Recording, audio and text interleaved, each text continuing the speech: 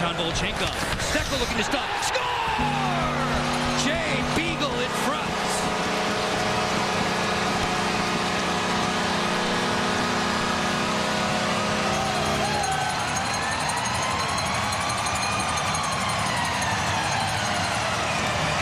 The boys in the studio, the grinders getting it done for the Caps. Fancy! Johansson, fabulous save by Marty Brodeur, but they couldn't they couldn't keep them out of the scoring area. Volchenkov with that huge hit on Bradley put himself out of position.